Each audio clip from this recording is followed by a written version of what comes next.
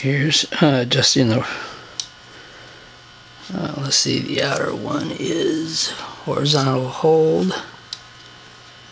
That's horizontal hold. This is vertical hold.